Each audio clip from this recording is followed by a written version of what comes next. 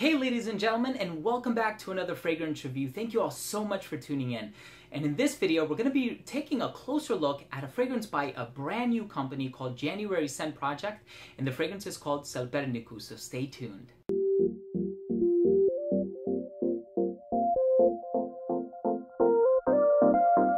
Now the perfumer for this one is John Biebel. This is a 2017 release, so it's a brand new scent. It's actually a new company. This is a writer, somebody who used to write for and still writes for Fragrantica. My friend Carlos and I did a video on all three of their fragrances, and we even did a giveaway in that video. Uh, if you want to check it out, I am going to leave a link down below. I'm also going to leave an annotation or a tag here. So this fragrance is probably the most peculiar one of the bunch. And in full disclosure, this was sent to me for review. Uh, the perfumer reached out to me uh, and he said, which one would you like? I would love to send you a full-size bottle. So I want to give a little bit back to the community. So I'm going to be doing a 5 ml decant draw. So make sure to stay tuned until the very end of the video to find out how you can enter.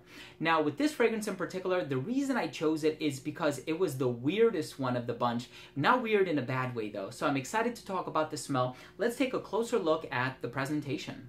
So the box for this one is a nod or an homage to uh, the fact that the perfumer is also a painter. So he came up with all of these graphics, wraps around, has some more information on the back, nothing going on at the bottom, just an ink splatter. And then in terms of the bottle, I do believe it's a stock bottle, so it's nothing too fancy, but I actually really like the simplicity in this one. So I like the unusual shape of the cap. It does not click into place though, so do not pick this one up from the cap. Uh, the distribution on the atomizer is pretty good, gets the job done. So let's go ahead and continue with the smell. Now, I'm not going to talk about the notes for this fragrance because even when I did it in that video, I remember thinking to myself, yes, the notes convey one sort of image of how it's going to smell, but when you smell it, when you put your nose to the scent strip, you get something totally different. So for me, I'm going to describe it more so with accords. I think it has a tart accord, or it has a tart quality about it, a very mildly floral quality about it, and this sort of balmy, dare I even say buttery component.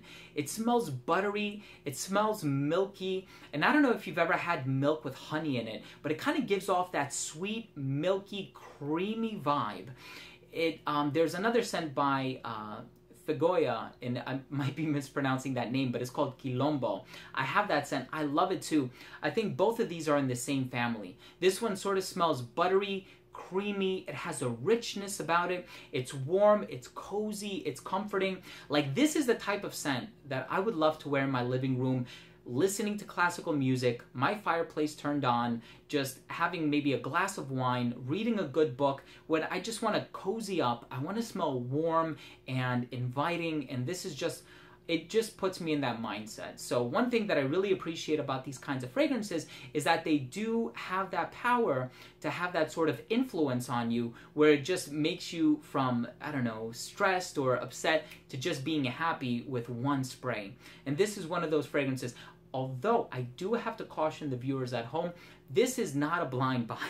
So please don't blind buy this fragrance. I personally got it because I love the artistic representation in it. I think the aesthetics of it and the smell, the way that it's composed, the blend itself is so unorthodox and for that reason i personally really like it but i would not recommend you blind buy this scent but i think it's a wonderful scent uh, quite a talented individual behind this one he's a painter as well so he came up with all of the graphics for each one of these fragrances i mean there's really no point in sharing the notes with you guys because I think this one is best described with accords. There's no one individual note, unfortunately, that you're able to pick up. So let's go ahead and finish things off with my overall assessment.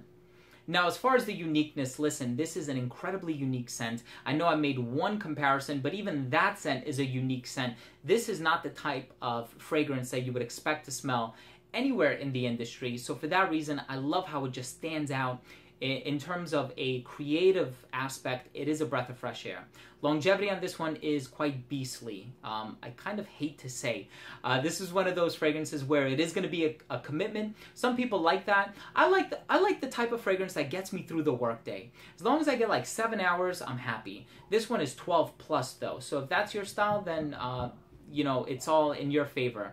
Next up, we have projection. This one will jump up off your skin, radiate beyond an arm's length for two to three hours, which I think is monstrous, and then it does settle closer to the skin. It becomes a skin scent at the eighth hour of application. And then in terms of versatility, I do have to say it's compromised a little bit just because of how weird of a smell this is. Um, how often do you want to smell creamy, buttery, and milky? So that's up to you. That's up to you. I think from a personal standpoint, it's going to smell really good.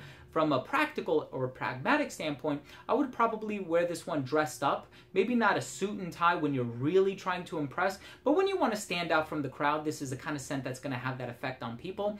I would wear this one all seasons, I think, just not in the dead of summer on a really hot day. I think it's perfectly unisex. I think the presentation is pretty cool. I kind of like the shape of the cap, um, but nothing too fancy, right? It's not a By Kilian coffin or anything like that if I had to give this one a final verdict, my overall, you know, impression of this, I love this scent. It's not one of my favorites, but it's I far from dislike it. I think it's an amazing scent, especially from a creative standpoint. You know, from time to time we come across these fragrances like Interlude Man by Amouage, or dare I even say Secretion Magnifique by Etat Libre d'Orange, where it's like, wow, I did not know that this could be a fragrance this is one of those scents. You're like, I didn't know this could be a fragrance. Thank you so much for tuning in. I would highly recommend you try it for yourself. I never recommend blind buys, but if there's some way that you can uh, find yourself a way of getting a sample of it, by all means, I highly encourage you do so. So here's how you can enter the giveaway. All you have to do is leave a comment down below and tell me what one fragrance is the coziest for you. Which one fragrance brings you the most peace of mind? So leave a comment down below. I'd be very interested to see what you come up with. And uh, that's all really you have to do. Just leave a comment down below. If you can like and share this video, I would appreciate that as well. So thank you so much for tuning in. That was my review of Selperniku by January Scent Project. Uh, if you owner have tried this scent, let me know. Also, please don't forget to subscribe for future videos and remember to enable notifications by clicking on the bell. This way you never miss any of my future content. So thank you so much for tuning in once again and we'll see you in the next episode. Take care.